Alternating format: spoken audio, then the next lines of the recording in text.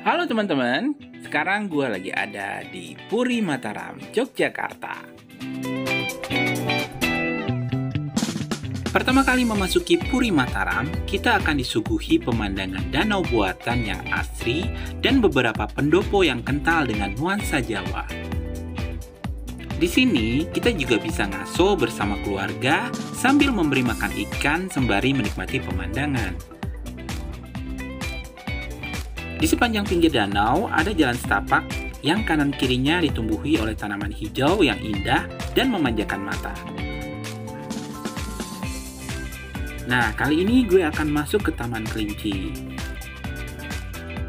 Yuk, ikutin terus.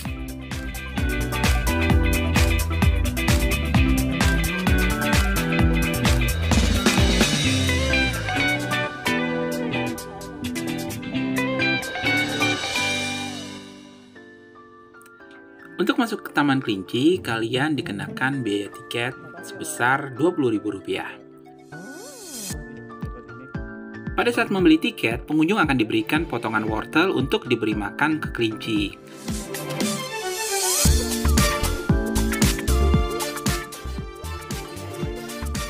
Kelinci-kelinci di sini sangat mengemaskan dan cukup jinak loh.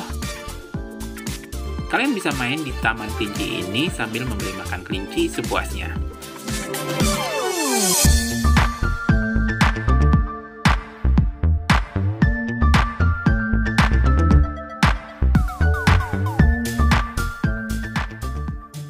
Oh iya teman-teman, selain kelinci, di sini kita juga bisa melihat domba yang lucu dan juga bisa berkunjung ke kandang kuda.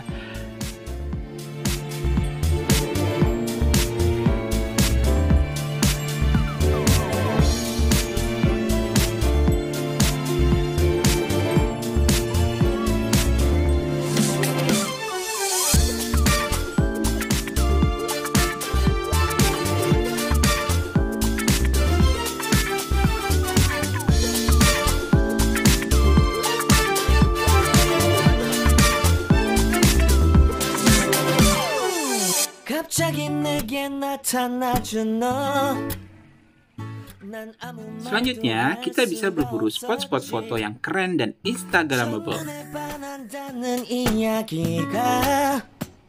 Usai melihat binatang dan berfoto, kita juga bisa masuk ke kolam terapi ikan. Nah, di sini kita bisa merasakan sensasi dipijat oleh ikan-ikan kecil yang memakan kulit mati yang ada di kaki kita.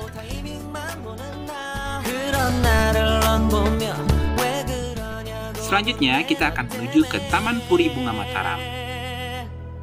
Di taman bunga ini, kalian bisa mencari spot-spot foto yang keren dan instagramable. Nah, bagaimana teman-teman? Cukup seru bukan? Puri Mataram ini sangat rekomendasi buat kalian yang ingin berwisata dengan keluarga dan membawa anak kecil, karena selain berwisata, kita bisa mengajarkan anak-anak untuk mengenal dan memberi makan hewan.